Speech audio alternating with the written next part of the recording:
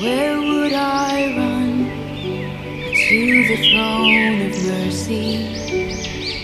Where would I kneel but at this cross? يا أحمد